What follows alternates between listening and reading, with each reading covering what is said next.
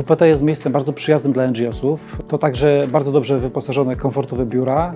W jednym z nich mamy stół ping-ponga, a także e, możliwość kontaktu z wieloma firmami z branży naszej, ale też innymi.